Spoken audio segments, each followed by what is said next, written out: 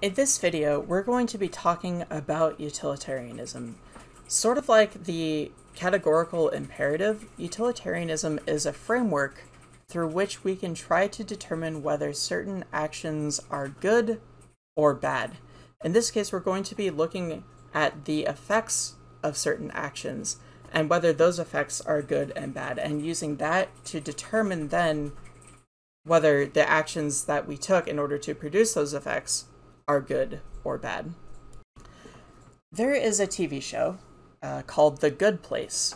Now, the idea of this is that the, the main character has passed away and has ended up in what's called the good place because her actions throughout life were good, as opposed to the bad place where you end up if your actions are bad. Now, the way that they determine whether or not you end up in the good place or the bad place is they look at all of your actions and they assign those actions a numerical value in terms of how good it is. A good action has a positive score and a bad action has a negative score. And if the sum total of all of your actions is positive, and not only that, but if it's a certain magnitude that is greater than zero. If it's a pretty high number, you get to go to the good place. And if it's a bad number, if it's less than zero, then you end up going to the bad place, and that's where bad things happen. Now, the good place is touching on this idea of utilitarianism, where the morality of an act is determined by the outcome of that act. An act is considered moral if they maximize happiness or reduce suffering. Good acts cause more good than bad, and bad acts cause more bad than good. And in the good place, you end up in the good place if the sum total of good you have caused in your life is greater than the sum total of bad you have caused in your life. And vice versa, if you have caused a sum total of bad that is greater than a sum total of good, you're ending up in the bad place. So, utilitarianism on paper sounds like a good idea, right? You want to cause more good than bad. You want to minimize harm, you want to maximize happiness, all of that kind of stuff. So, why don't we take a look at how we would use utilitarianism as a guide to determine our actions? So, for every possible action that you could take to address some kind of situation. Let's say you have three different choices that you could take when faced with a certain problem. For each one of those choices, what you have to do is you have to quantify how much good will result from that action. So I'm going to produce X amount of good into the world if I do, if I take this choice. You then also have to quantify how much bad is going to result from that action because any action could have negative as well as positive consequences. So you need to figure out how much good you're going to create and how much bad you're going to create. And then you need to determine the net good that taking this action will produce. And this actually ties in a little bit to the idea of margins that we were talking about in the earlier videos, where the margin is equal to the value that you're getting from a system minus the cost that you have to put in in order to create that system. Well, here we're looking at the amount of good that we're putting into the world minus the amount of bad that will result from making a certain choice. And then, once we do that for every possible choice we could make, we choose the action that will create the most net good. Pretty easy, right? All we have to do is make sure that whatever action we take will produce the most good while also minimizing how much bad we'll be making. We want to make sure that the amount of good minus bad is the highest we can make it. Great. Well, I like this idea of utilitarianism because I want to, well, I want to maximize good, I want to minimize bad, and I like this idea of being able to compare the amount of good certain actions will create and using that to choose the right action. So I think this is a great ethical framework. why don't I try applying this to a specific problem? Well, this is what is known as the trolley problem. So say that you have an out of control trolley, it is barreling down the tracks, and there's no way to stop it. You have five people who are in the way, who are tied to the tracks, they are unable to escape, and the trolley is going to run them over within seconds. You have the option to divert the track to make the trolley change direction onto the other track down here, but it's going to run over one person instead. So, let's think about this from a utilitarianism perspective. If you don't move the lever, if you don't divert the trolley, five people are going to die. If you do divert the trolley, one person is going to die. So, with utilitarianism, the choice to not move the lever results in five deaths, and the choice to move the lever results in one death. It should be as simple as moving the lever. Only one person dies, five people get to survive. You have done your best to minimize the damage. So you've minimized the amount of evil that's in there. Under classical utilitarianism, you have made the right choice. Here's the part where we start thinking about well, who are these people? What if that one person was one day away from curing cancer, and those five people, well, we're not one day away from curing cancer? Then would your action not have caused more people to die because cancer has not been cured. The amount of delay that has been given to the cure for cancer because of, of the death of that person and the amount of people who have died in that delay because you have decided to move that track and to make the trolley run over the person who would have possibly saved all of those lives lives were it not for getting run over by a trolley. Does that make you responsible for those deaths? And then from there does that mean that because more than five people potentially have died from cancer does that mean that your actions now are more evil than the other choice of letting five people die well then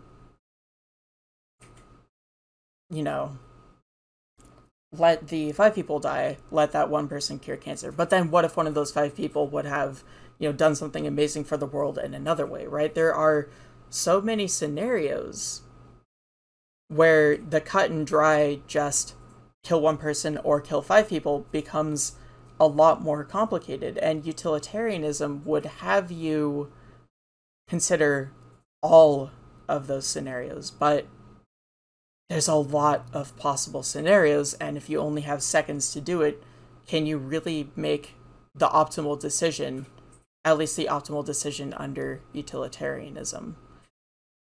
What I'm trying to get at here is utilitarianism has a really good idea in principle where you want to do more good than bad, even if you take an option that might seem evil up front. For example, pulling a lever to decide to kill one person instead of five, there's the possibility that the amount of good that you might do could outweigh the bad. In this case, killing one person instead of five people could be a scenario where the amount of good outweighs the bad. However, there are times where this idea can be really, really tricky. And it can get into these really complicated situations where maybe you know when you're sitting down and thinking about it when you actually have time to figure out who everyone is and what their deaths might mean to the world the amount of good and bad that are out in the world. You know maybe all of that is easy to do when you're sitting down thinking about a problem but if you have 10 seconds to make a decision a utilitarian framework can overcomplicate things to the point where that decision is taken away from you. one might also argue, in the case of the trolley problem specifically, that, well, you aren't the one who tied the people to the tracks, and you aren't the reason why that trolley is running out of control, right? So it, then every decision, any decision that you can make, are the consequences really your fault, right? If you accidentally kill someone who would have invented the cure for cancer, is it really your fault that maybe a bunch of cancer patients could have passed away because you know the cure the person who would make the cure for cancer was strapped to the tracks of a trolley um, some would argue that that's not your fault and in that case whether you choose to pull the lever or not that doesn't fall under morality because well it, it really is just the fault of the person trying to, you know, tie people to tracks in these weird philo- uh, philosophical games. So that's another possible thing to think of when it comes to an example like this. Some questions we can think about when we're talking about utilitarianism as a guide is how can you quantify good? Is it the amount of people who you will make happy? Does it involve the amount of happiness that you are giving each of those people? How do you quantify bad? Uh, can you really quantify good or bad as numerical values that you can then compare with each other? Who determines what is good or bad? This is kind of something that you see in a lot of ethical frameworks is if we're trying to figure out whether something is good or bad, whether if we're trying to figure out whether something should be universal law, right? Who gets to determine all of that? We have to think about people's differing moral compasses, their different beliefs, the experiences that they were raised in when we're thinking about good or bad here. How can you possibly know exactly how much good or bad your actions will create? how can you possibly look at every single possible consequence? How can you look at every single possible choice? Maybe there are some that you just don't think about. And if you happen to miss the correct answer under utilitarianism, does that make your actions unethical because you haven't done the best option just because you didn't know what the best option was? If the consequences of your actions lead to someone doing a bad action, does that make your action bad? Even if it was possibly good to start out with. So these are just food for thought. The textbook uh, presents a scenario and they talk about how you can use utilitarianism to address that scenario. What I'm trying to do here is I'm trying to get you to think about utilitarianism, engage with it on a level that the textbook isn't asking you to. With any ethical framework, there are examples of why that ethical framework is good to use and examples of why it might be bad to use. And this is why ethics is not a solved problem because there are always examples, but there are also always counter examples. And utilitarianism is a very huge subject. There's a lot of people who have done a lot of work in it. There's classical utilitarianism, but there are also modern developments in utilitarianism some of which try to address some of the concerns that I brought up.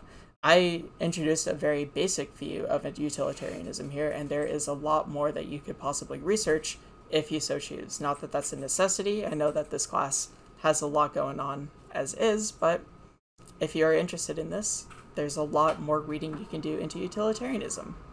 But it's always worth thinking critically about it. That's the brief ethics discussion here. I recommend you do read the textbook regarding that ethics section section because it has that like i said it has another applied example that you could use it's a really interesting applied example that they talk about actually they talk about the use of um, bots on a dating website uh, whether or not you should use bots to maintain interest if only for temporary a temporary amount of time until you can get more users on your dating website it's a cool story, and it's actually based on stuff that happened in real life. So I would recommend looking at it.